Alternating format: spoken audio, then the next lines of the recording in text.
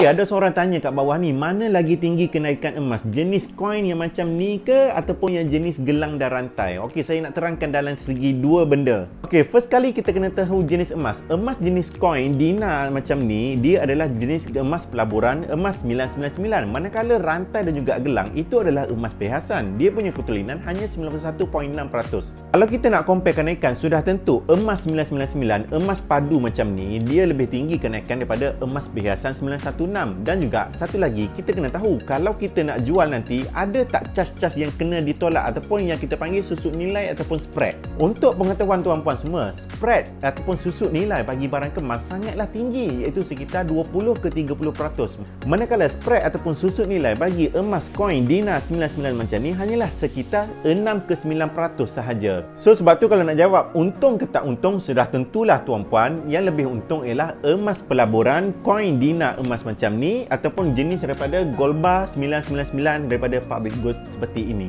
So nasihat saya kalau nak nampak cantik ataupun comel pakailah gelang ataupun rantai. Tetapi kalau nak dapatkan untung dalam jangka masa panjang gunalah ataupun simpanlah emas pelaburan, dinar ataupun gold bar macam ni.